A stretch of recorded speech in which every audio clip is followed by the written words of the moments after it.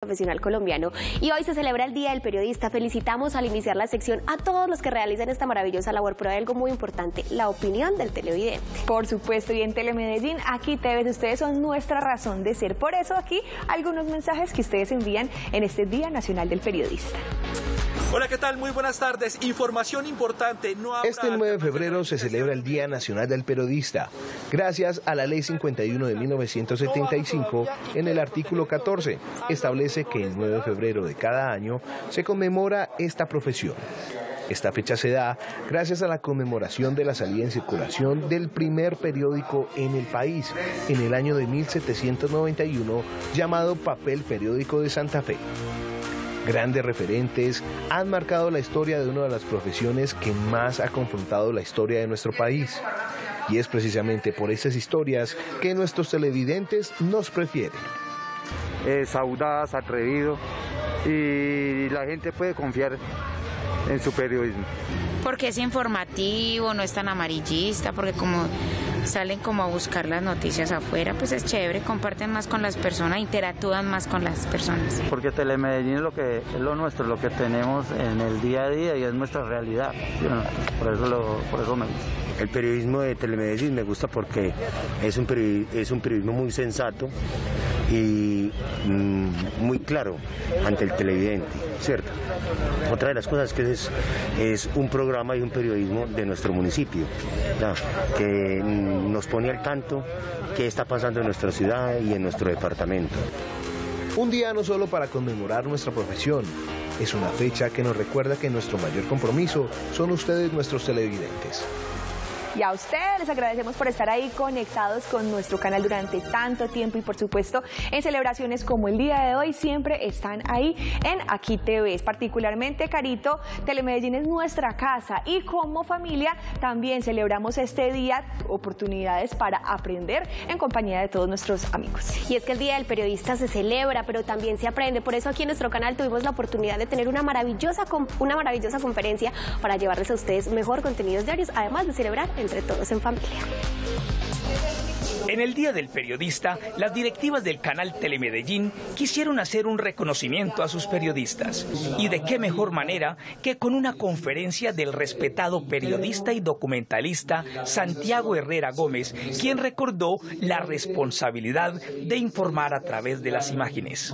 Con esta charla recordamos muchísimas cosas de lo que es nuestra profesión, de lo que es hacer televisión, de lo que es hacer periodismo en televisión que nosotros lo que estamos es conjugando un lenguaje tanto en imágenes como en sonidos, como en textos, para entregarle un hecho al televidente. Desde la academia eh, y desde el cine se habla muy fácil y La conferencia del documentalista Santiago Herrera Gómez recordó lo sensible, lo bello y lo mágico de ser periodista. Como dijo una vez Richard Kapuczynski, el oficio memorable, del oficio memorable del periodista es la reportería. Y somos sobre todo reporteros, y quien es reportero sabe contar historias. Y en definitiva, eso es el periodismo somos unos contadores de historias, nada más.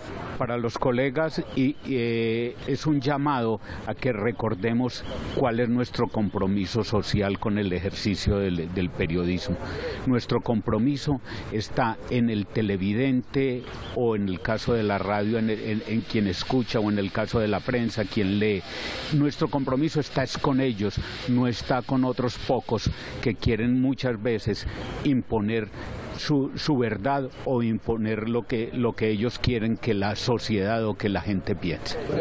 La verdad, la objetividad y la imparcialidad, reglas trascendentales del periodismo aplicadas con responsabilidad en Telemedellín. Aquí te ves. Que la idea es ir cada vez perfeccionándose y por supuesto investigando y mejorando en todos los proyectos que emprendamos. Con Fenalco Antioquia tiene abierta una convocatoria para ayudar a la reactivación económica y cultural que estamos viviendo y por supuesto a los artistas de nuestro departamento. Pau, como lo mencionas, una gran oportunidad para todos nuestros artistas. Confenalco lanza la maleta cultural y para todos los artistas que quieran hacer parte de esta maravillosa estrategia, solo tienen que ingresar a su página web. La Caja de Compensación con Penalco quiere contribuir a que los artistas y proyectos culturales independientes logren su reactivación económica. Por ello, lanza la convocatoria La Maleta Cultural, mediante la cual busca conocer las propuestas e incluir estas en los eventos que realice. Si eres un artista con un proyecto musical o uno de danza o uno de teatro y sus afines, títeres, clown, narración oral, entre otros, podrás participar de nuestra maleta cultural, una plataforma que es muy fácil de, diligenciar, de inscribirse, donde allí podrán dejar su propuesta artística las propuestas serán evaluadas por expertos y curadores, con el fin de que el proceso sea objetivo y brinde oportunidades para los artistas. Si tienes una propuesta y eres de Medellín, de Antioquia, de Colombia o del mundo y estás interesado en participar y ser parte de nuestra base de datos de artistas, pues les invitamos a que se inscriban allí. Para participar en la maleta cultural, las personas deben entrar a www.confenalcoantioquia.com.co slash personas slash maleta cultural. Pues nos encanta compartir con ustedes las diferentes convocatorias en esa parte artística. Y para que ustedes vean en sus casas todos los contenidos que les compartimos, hay un lenguaje audiovisual de por medio que tiene muchas técnicas y por supuesto mucho estudio. Nosotros aquí en Noticias Telemedellín le tenemos el perfil de Santiago Herrera, que es un documentalista. Este experto en narrativo audiovisual tuvo la oportunidad de nosotros disfrutar de él y de todo su conocimiento y como lo dices, aquí les presentamos un perfil para que ustedes conozcan mucho más de las narrativas audiovisuales. Las historias contadas, las historias narradas, las historias plasmadas.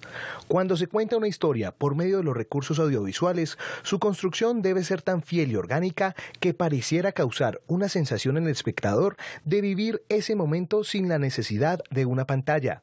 Crear esta sensación se da cuando todos los elementos audiovisuales están debidamente construidos con una intención narrativa.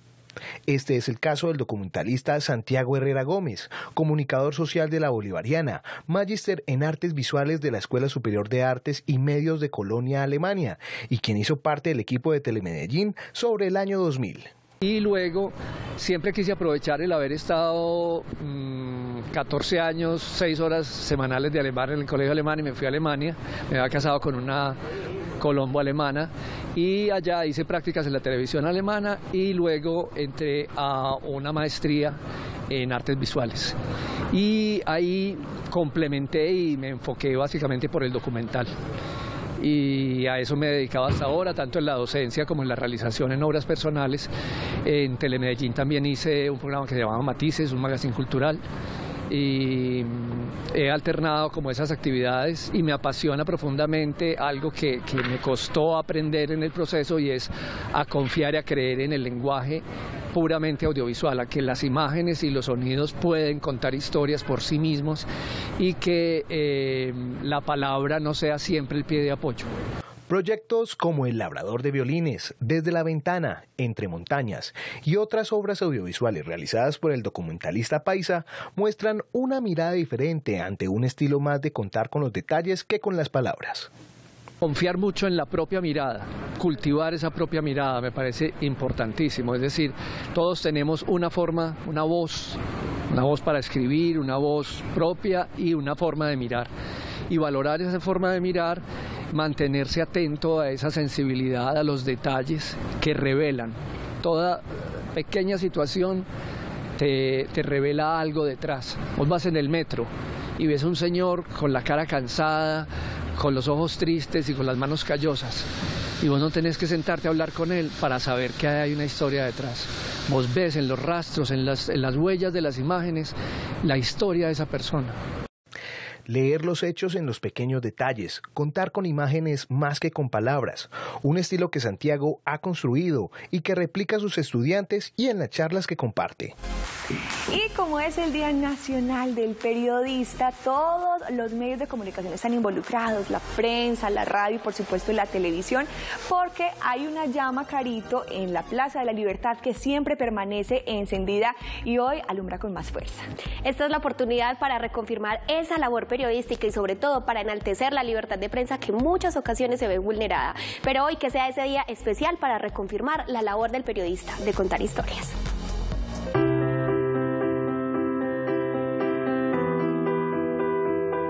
La llama que siempre está encendida en la Plaza de la Libertad hoy tiene más fuerza que nunca. Se encendió mucho más para conmemorar el ejercicio de la libertad de prensa. Para nosotros, el Día Clásico del Periodista es el 9 de febrero, pues existe un origen, un origen en que Manuel del Socorro Rodríguez en 1791, un 9 de febrero, pues dio a luz el papel periódico de Santa Fe de Bogotá un propósito periodístico que tiene toda, toda, toda la trascendencia para nosotros, quienes ejercemos este oficio del periodismo. El premio Manuel del Socorro Rodríguez rinde homenaje a las categorías de prensa, radio, televisión, medio alternativo, medio digital, profesor universitario y a la vida y obra.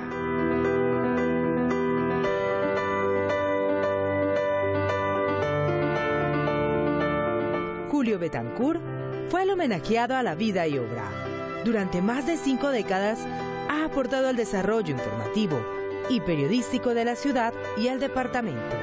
Y hoy creo que ha llegado el momento más importante en mi vida, que los periodistas reconocen la labor de una persona que está desde los, eh, desde los 16 años metida en la radio y en los medios. En la Plaza de la Libertad también se hizo un homenaje conmemorativo a los periodistas fallecidos durante el 2020. Sus nombres y legados estarán plasmados para siempre en esta placa.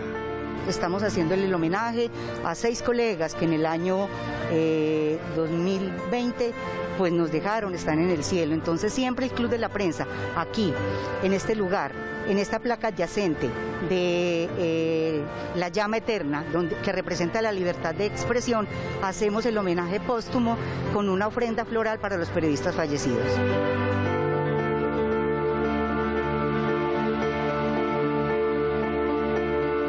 Un reconocido homenaje a los grandes del periodismo de nuestra ciudad, que se destacan por su compromiso, ética, amor y labor social a partir del oficio de informar.